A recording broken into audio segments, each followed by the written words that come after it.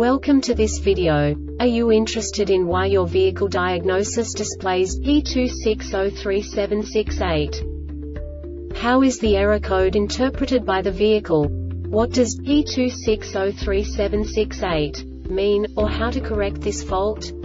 Today we will find answers to these questions together. Let's do this. First, let's look at the history of diagnostic fault code composition according to the OBD2 protocol, which is unified for all automakers since 2000. We divide the electric system of automobile into the four basic units. Powertrain, body, chassis, network. This distribution is defined in the first character code. If the second character is expressed as zero, it is a standardized error. In the case of numbers 1, 2, 3 it is a more prestigious expression of the car-specific error. The third character specifies a subset of errors. The distribution shown is valid only for the standardized DTC code. Only the last two characters define the specific fault of the group. The add-on to the error code serves to specify the status in more detail. For example, a short to the ground. Let's not forget that such a division is valid only if the other character code is expressed by the number 0. Our website airbagreset.sk produces useful videos for you. You do not have to go through the OBD2 protocol anymore to know how to troubleshoot any car breakdown. You will find all the diagnostic codes that can be diagnosed in a Toyota vehicles. Also many other useful things. The following demonstration will help you look into the world of software for car control units. You unbelievably can move the video a bit further. The error code is split into two bytes consisting of 16 bits.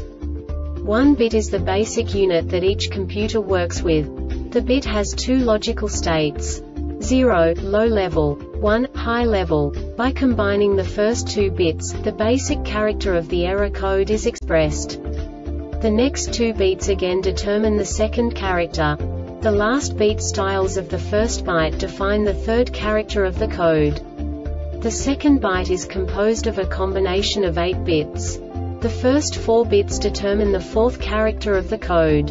And the combination of the last 4 bits defines the fifth character. A single byte conceals 256 possible combinations. We now know in what way the diagnostic tool translates the received information into a more comprehensible format.